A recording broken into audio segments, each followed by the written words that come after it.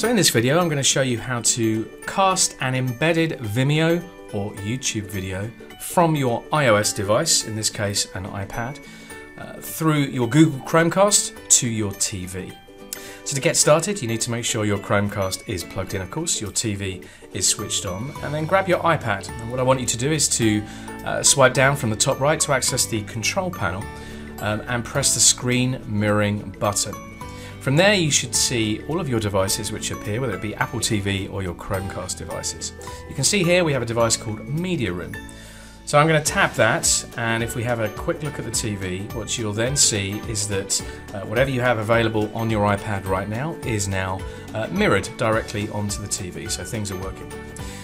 In this example, I'm then going to show you uh, how you can then uh, access uh, a, a, Vimeo video and then cast that. It's dead simple. So tap on the page that you're interested in casting. You can now see uh, the embedded video within it. You can then press play and you'll see the video and hear the video playing on your TV.